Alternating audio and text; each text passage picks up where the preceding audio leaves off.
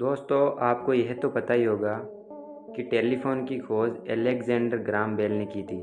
पर आपको जानकर हैरानी होगी कि एलेक्जेंडर ग्राम बेल ने अपनी पत्नी और माँ को कभी फ़ोन ही नहीं किया क्योंकि वो दोनों बहरी थी ऐसे ही वीडियो जानने के लिए लाइक करें कमेंट करें वीडियो को शेयर करें और चैनल को सब्सक्राइब ज़रूर करें